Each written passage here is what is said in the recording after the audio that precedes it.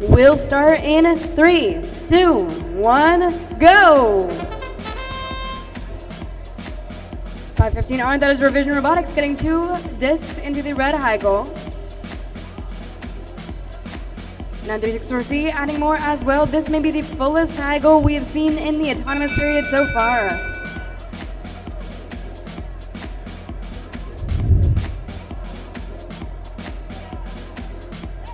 Uh, Autonomous goes to red. We'll start driver control in three, two, one, go. On the field for this match, we have first from Union, Kentucky, 515R Revision. Their partners from Brentwood, Tennessee, we have 936 Iron Eagles. From Richwood, Ohio, on the Blue Alliance, we have 6008C. See you later. Their partners from the same club in Richwood, we have 6008A Apollo 1.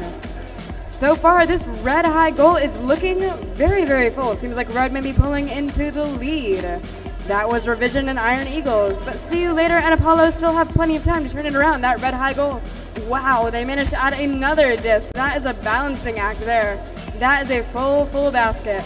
We're adding another disc on the blue side as well. We may clear the field in this one. We still have 53 seconds remaining. We might end up with every single disc in a scored position. These rollers are turning fast. This is their last shot at adding more points to their total score.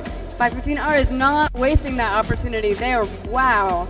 They're turning those rollers to their color and also doing some of the best defensive driving I have seen so far this year getting in there and keeping blue out of the way.